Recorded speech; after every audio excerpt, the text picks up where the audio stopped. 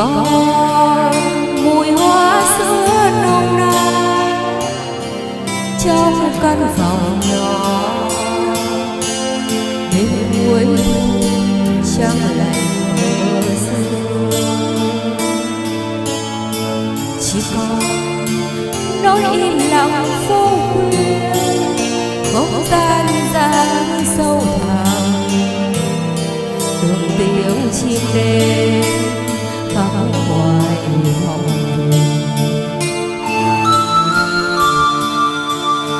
chỉ còn mênh bóng hương hồ hiu hắt soi những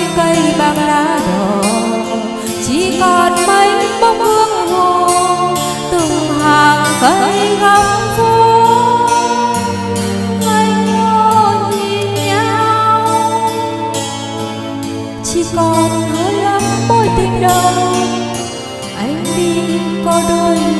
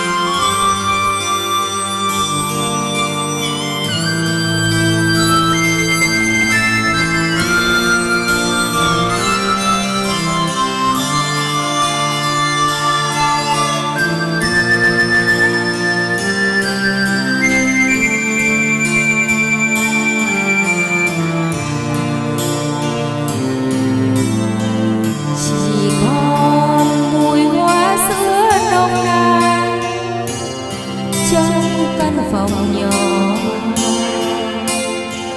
đêm cuối thu trăng lạnh mơ sương chỉ còn nỗi im lặng vô khuya không gian xa hương sâu thẳm từng tiếng chim đêm khắp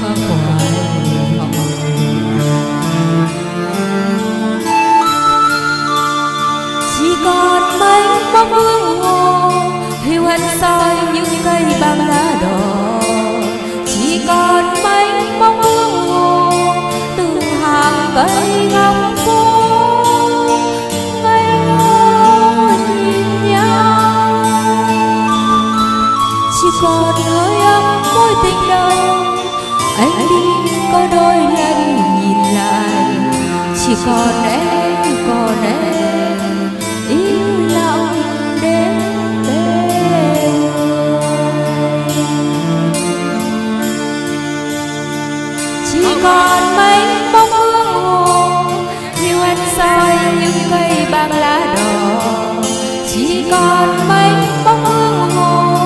từng hàng cây góc